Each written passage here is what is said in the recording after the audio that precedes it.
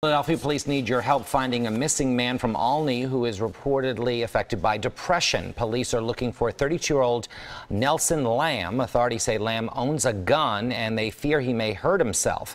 Lam last spoke with his family on Monday night and hasn't been seen or heard from since. If you know where officers can find him, please contact police.